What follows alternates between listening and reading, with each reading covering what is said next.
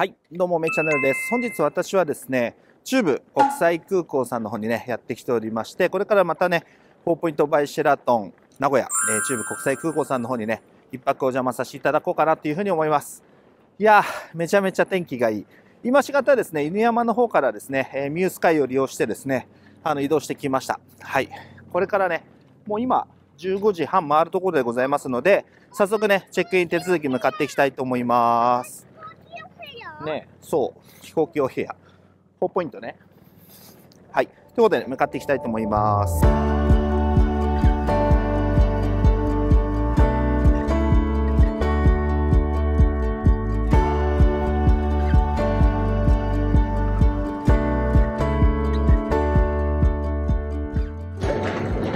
はい、無事にね、チェックイン手続きが完了いたしまして、日はね、11階のお部屋となっております。スイートナイトアワードを利用してですね、ジュニアスイートとなっております。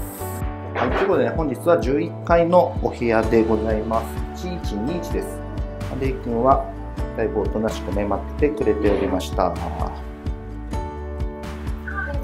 はい、ということで、こちらですね、11階の方に到着いたしました。本日は1121というお部屋でございます。はい。こちらの角になるでしょうか。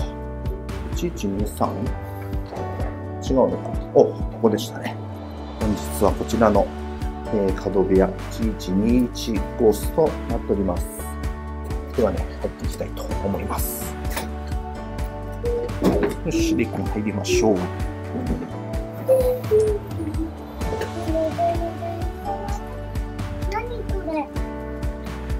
きい。はい、ということで、はい、広いですね。こんな感じのお部屋。おお、いいじゃないですか。どう、レイ君、大きいね。テレビが下がってる、テレビが。本当だね。テレビがこんな感じになってます。いやー、眺望なんかも角部屋なんでね、非常に明るいですね。こんな感じのお部屋。そして空港もね、えー、見ていただくことができるといったお部屋となっております。飛行機もね、飛んでますね。はい。ではね、お部屋の方見ていきたいと思います。ではね、玄関の方に戻りまして、本日のお部屋はですね、エレベーターホールを出て、左手のこちらの角ですね、1121号室となります。12階建ての11階ですね。まあ、高層階にご配慮いただいております。で入っていただいて左手がですね、このように収納スペースとなっております。アイロン台だったりとか、アイロンがあって、バスローブ、そしてね、ハンガー類。で、荷物置く台もね、結構広々してて、いい感じじゃないですか。はい。で、こちらの、はい、ルームウェアがね、入っております。でこちらの方にはスリッパとかですね、消臭剤とかシューブラシ、靴べらなどが入ってございます。反対側は空こちらも空でございます。はい。で、まあメインのね、マスターがこちらで鍵をね、させていただく形になっております。で、こちらね、入っていただいて、右手の方は姿見のね、鏡がこのようにドンとあります。こちらを開けていただきますと、水回りとなっております。はい。まあ、こんな感じでですね、洗面台も広いですね。まあ、ジュニアスイートでもね、洗面台は1箇所といった感じですけど、まあ、当然十分です。はい。で、えー、お手洗いですね。自動でね、あの、開く感じではないですけど、ボタンを押していただければね、開いていただくタイプです。で、えー、タオルがあって、この照明とかね。で、こちらにもう1着バスローブがあって、アメニティ類です。ボディクリームとバスソルト。そしてコップとかですね。はい。で、石鹸だったりとか、歯ブラシ類、髭剃りなどが意識ございます。まあ、こんな感じの洗面。はい、可愛いですね。で、ティッシュがあって、足元にはシルキーラブのですね、こちら、ドライヤーがございます。で、ゴミ箱ですね。で、こちらで、まあ、なんだろう、あの、モザイクみたいな感じでですね、曇りガラス風な感じですけど、まあ、気になる方用にですね、ブラインドを閉めていただくこともね、えー、可能という形になってますけど、まあ、シルエット見えたところで全く気になりませんので、上げておきます。で、こちらね、はい、浴室となってます。これはま通常のお部屋とね、さほど差はないかなと思いますけど、まあ、こういったね、バスタブがありまして、はい。で、こちら、シャンプー、コンディショナー、ボディウォッシュがございます。で、シャワーなんかもね、まあ、問題ないかと思いますけど、おびっくりしました。電シャワーが降ってきました。危ない。危なかった。はい、ほんの少しね、濡れてしまってます。カメラも若干ですけど、濡れてますけど、若干なんでね、セーフかなと思います。はい。えー、で、こちらメインのね、主寝室です。もうレイ君がね、まったりしておりますけど、まあ、真ん中にですね、ベッドがドーンと置いてあって、奥がね、書斎、そして左手に、えー、テレビ、そして奥にね、ソファー類が置いてございます。食べたいね。ちょっと待ってね。はい。で、カーテンがあってですね、はい。エアコンでございますね。まあ、見せてくれたの。ありがとう。はい。で、ここら辺のね、はい、カーテンなども可愛いですね。で、こちらがね、角部屋となってまして、海側になってますね、こちら側ね。はい。で、反対サイドが、えー、空港側、駅側というふうになっております。はい。まあ、やっぱり広くて非常にいいですね。で、キングサイズのベッドがドンとね、置かれております。足元もね、こんな感じですね。まあ、とにかく、やっぱりね、広い。普通の部屋よりは全然広いですね。はい。で、こちらですね、ベッドのサイドに関しましては、起こさないでくださいボタンがあったりとか、マスター類のね、ボタン、そして USB-A とコンセントが1箇所、そして間接照明と時計でございます。そして、えー、反対サイドもね、同様にですね、間接照明とこちらのね、メインの照明、そして USB-A とコンセントがございます。まあ、こんな感じですね。はい。で、こちらに空気清浄機が置いてございます。で、テレビも結構大きいですね。シャープ製のものとなってますけど、何インチでしょう ?60 インチっぽいですね。大きい。で、ここら辺の収納につきましては、特に何か入ってるという感じではなさそうですね。面白い、これ。はい。こっちも空ですね。はい。まあ、これだけね、スペースがありますと、HDMI のね、端子なども非常にね、差しやすくて、接続しやすいかなというふうに思います。で、えー、こちらの奥ですね、進んでいただきまして、ドーンとね、使いやすそうなミニバーだったりとか、書斎みたいなね、テーブルがあっていい感じですね。えー、ティッシュだったりとかメモ帳ですね。で、拡大鏡があって、時計が、電話機がね、ございます。はい。そしてこちらの収納ですね、まあ、特に何か入ってるという感じではないです。これ聖書がね、ございますね。あ、こちらにセキュリティボックスがね、あるんですね。なるほど。はい。まあ、こんな感じ。で、こういったね、書斎の椅子がございます。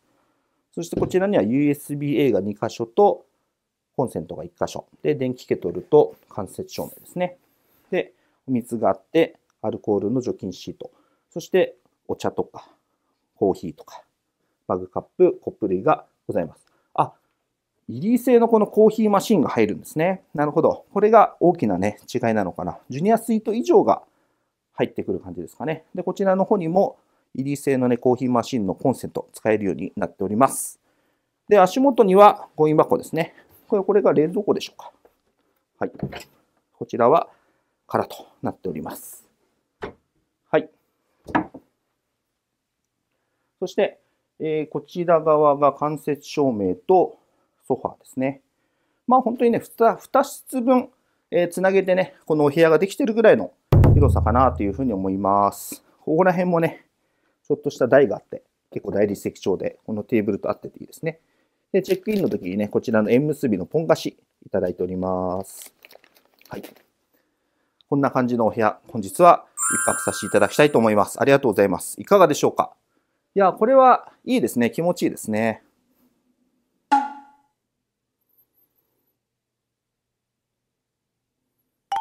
それではね、Wi-Fi 接続しましたので、速度測っていきたいと思います。行ってみましょう。はい。速度出ました。ダウンロード、下りが 47.21Mbps、アップロード上りが 51.08Mbps となってまして、まあ、比較的あの安定した速度出てるんじゃないかなというふうに思います。これだったら、夜もね、この速度が保たれるんであれば、ライブもスムーズなんじゃないかなというふうに思います。はい。ということでですね、こちら本日は、4ポイントバイシェラトン名古屋中部国際空港さんの方にお邪魔させていただいております。まあ実はですね、おとといもね、こちらの方に、まあレイ君とね、新幹線で名古屋の方に到着した日に、えー、宿泊をさせていただいております。まあ、ただね、一般的なお部屋で特にあの変わり映えはなかったですし、まあ、夜にチェックインということもあったので、特段ね、えー、動画は撮っておらず、まあ、ライブね、お届けさせていただきました。そちらのライブのアーカイブにつきましてはね、上によかったらリンク貼っておきますんで、ご参照いただければと思います。で、本日はですね、まあ、スイートナイトアワードを利用させていただきましてね、同じお部屋だとちょっとあれかなと思ったんで、もう惜しみなくスイートナイトアワードを利用させていただいたところ、無事にね、えジュニアスイートにアサインいただくことができましたので、まあ、今回はね、さすがに動画撮ろうかなというふうに思います。まあ、初めてね、こちらのお部屋お邪魔させていただきましたけど、非常に、まあ、今日天気がね、めちゃめちゃいいっていうこともありますけど、すがすかしくて、非常に気持ちいい。で、私個人的にはこちらね、まあ、おとといの宿泊、滞在もね、入れてしまえば、まあ、3滞在目ということになるわけですけど、非常になんかね、おしゃれですし、落ち着くね、えー、感じで、私は比較的ね、こちらのえー、4ポイントバイシェラトン名古屋中部国際空港さんは好きな、えー、ホテルでございます。はい。まあ、子連れとかもね、結構いらっしゃるし、あの、比較的なんか、しっぽりもしてるんですけど、あの、かしこまりすぎなくてね、いいなというふうに思ってます。はい。ということで、まあ今日はね、またちょっとゆっくりさせていただいて、明日もう一回ね、えー、名古屋の方でゆっくりさせていただいて、まあ東京に帰ろうかなというふうに考えております。まあ、これからね、えー、っと、まあもうね、4時回ってしまいましたけど、お昼ご飯食べてなくて、レイ君も、あの、腹ペコの状態なので、ちょっとね、買い出し行ってきてですね、まあゆっくり過ごしていこうかなというふうに思います。ということで、また後ほどお会いできればと思います。はい。ということですね、もうだいぶ遅くなってしまいました。もう結局ね、えー、お部屋でね、あの適当に買ってきたものをレイ君と夕飯食べてですね、今しがた、えー、YouTube ライブも終えて、もうね、1時 というところでございます。えー、ライブのアーカイブにつきましてはね、上の方にリンク貼っておきますので、えー、よかったらそちらの方もね、アーカイブご参照いただきたいなというふうに思います。で、明日はね、朝食をいただいた後にですね、視聴者さんから、ね、お勧めいただいたセントレアね、 Flight of Dreams っていうね、えー、フライトテーマパークの方にね、行きたいなというふうに思います。まあ、レイ君そこで遊ばせたりしたいなというふうに思います。ということで、まあ、今日はね、ちょっとゆっくりさせていただいて、また明日の朝ね、朝食でお会いできればと思います。おやすみなさい。はい、おはようございます。いやー、ぐっすりね、眠ることができました。えー、もうね、レイ君も8時ぐらいまでね、ぐっすり寝ましたね。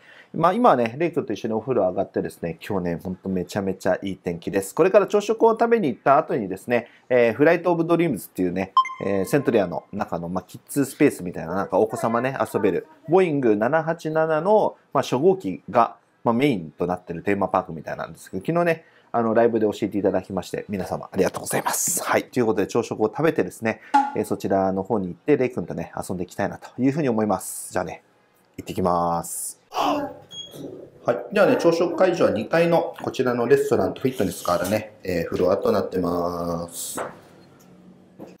はい。こちらね、2階でございます。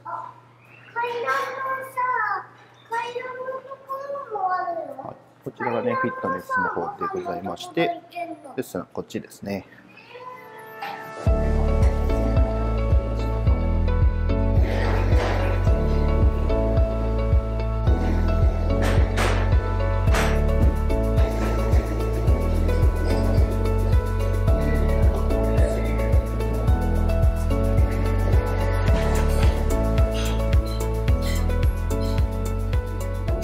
ということでね、こんな感じで今日はね、朝食持ってまいりました。美味しそうですね。フルーツとかね、この手羽先とかね、ソーセージとか。はい。あとね、あの、スープカレーみたいなのもあったんですけど、今日はこのぐらいにしておきたいと思います。はい、ということでね、いただいていきたいと思います。いただきます。今もね、ちょうどお料理をとってね、お席に戻ったところで、あの、私、動画ね、見ていただいてる方がお声掛けいただきました。ありがたいですね。はい。ということでね、いただいていきたいと思います。まあ、やっぱりね、地元のね、手羽先だったりとか、この愛知県のね、お米を使ってたりとか、いうのがありますね。う まうん。手羽があるのは嬉しいな。はい。うん。今日はね、食べ進めて、これからね、セントリアンの方に遊びに行きたいと思います。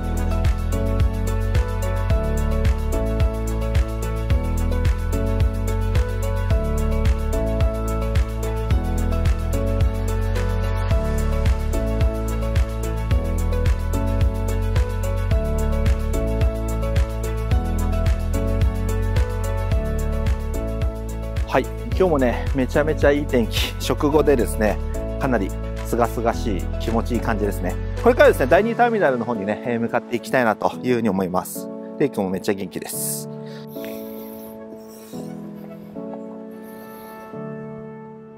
フライト・オブ・ドリームスみたいですね。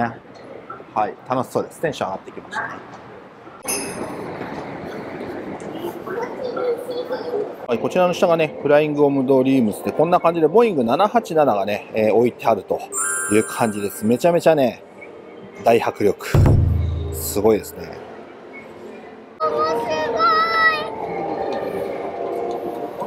で、今日好きなエンジンがあるじゃん。エンジンでか。いやー、やっぱりね、めちゃめちゃ迫力がすごいですね。はい、こちらはですね、レイ君そっちのけでね、大人の方が楽しいかもしれないですね。めちゃめちゃすごい。はい。はい、そしてね、グッズなんかもね、売ってるみたいですね。ロッカーなんかもね、無料であるみたいで非常にいいですね。はい。この施設がね、一部有料ですけれども、基本的には無料っていうのが嬉しいです。はい、こんな感じでですね、めちゃめちゃ大きいです。まあちょっとね、台がありますんで、上にはね、ちょっと上がってる感じとは言っても、めちゃめちゃ大迫力ですね。いやー、すごい。はい、じゃあね、コックピットの方ね、無料で見学できるので入っていきたいと思います。ゆっくりでいいよ、レイ君。ほら、レイ君エンジンもでっか。あそこも後で見ようね。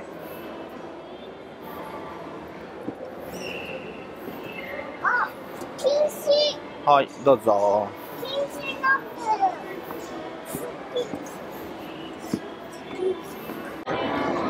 はい、りくんどうぞ。どう？運転席。こうやって運転してるんだよ。はい。こんな感じでね、運転席見ていただくことができます。これ何？うん。これはどこ？これフラップって書いて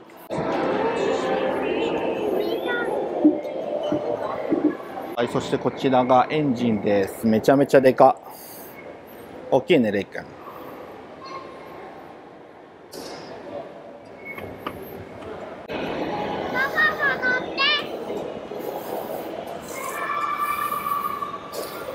はい、ボーイング787の座席なんかもね、ございます。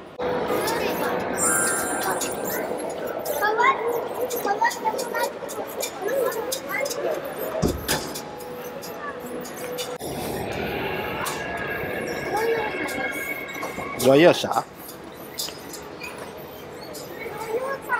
はい、こちらね、大人もね、子供もね、楽しんでいただける施設で、いいですね。一部ね、有料ではありますけど、基本的には無料っていうのもね、非常に嬉しいですね。まあ、もうちょっとね、レイ君遊ばせて、ホテルの方に戻っていきたいと思います。いいとこ教えていただいてよかったです。皆さんもぜひね、あの、来てみていただければと思います。はい。ということで、朝食いただいてですね、 Flight of Dreams 行ってまいりました。で、今、部屋の方にね、帰ってきまして、えー、12時半といったところでございます。まあ、今日はね、3時前ぐらいにね、チェックアウトしようかなというふうに思っております。まあ、今回ね、3体在目となります、4ポイントバイシェラトン名古屋中部国際空港さんでございますけども、まあ、初めてですね、こちらのジュニアスイートのお部屋、宿泊させていただきましたけど、まあ、基本的にこのお部屋じゃなくても、4ポイントバイシェラトン名古屋さんなんかね、居心地がめちゃめちゃいいんですけど、まあ、特にこのお部屋はね、まあ、広いですし、あの、いい感じですね、明るいですしね。